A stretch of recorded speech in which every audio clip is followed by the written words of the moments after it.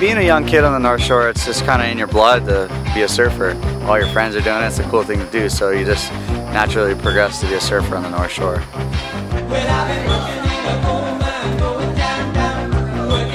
got his autograph? Yeah. I want to see you charging tomorrow.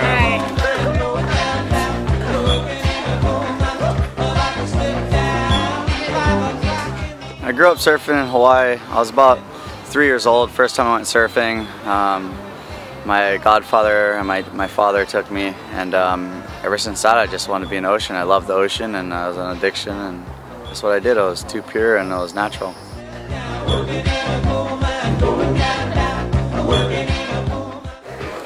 Typical day on the East Coast. Wake up in the morning, eat a nothing.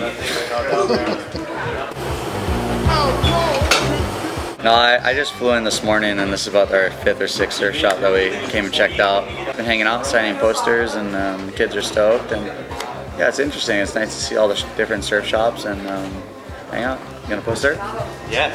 You want my autograph? You know, surfing hasn't really changed.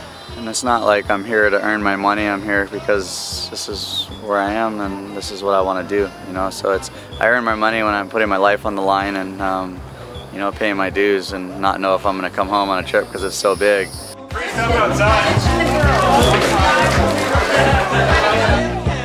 Well, it's good for me to see see places and you know see the kids and it's all I could do to give back really. So is that what he gave you? Yeah, he signed it, maybe a sticker.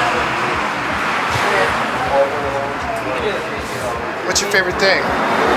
Like out of the two of them? Yeah, the two. The poster or the sticker? Poster, most definitely. Yeah. How about you?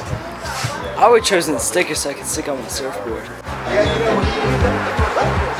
It's definitely really cool when the kids come and get autographs. They're all stoked. They're like, you know, they're really stoked that I'm here. Some of them don't know who I am. Some of them are figuring it out, but it's, it's cool. It's a fun little road trip and um, everyone's happy.